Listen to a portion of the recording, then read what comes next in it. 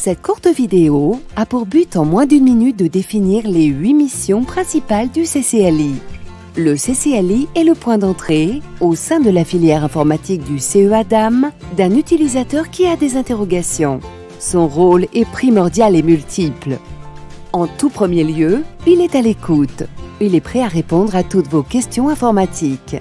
Rapidement, sa mission est de débloquer vos situations difficiles d'un dossier en cours. Certains utilisateurs cherchent de l'assistance en ligne pour leur expliquer l'utilisation des outils incontournables de notre filière.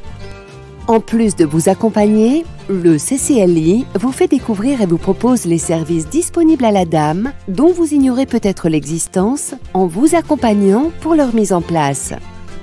Il organise des rencontres régulières avec les laboratoires ou les services, communique sur les événements informatiques impactants. Bref, le CCLI est un héros imaginé pour faciliter le quotidien informatique de l'utilisateur CEA de la dame.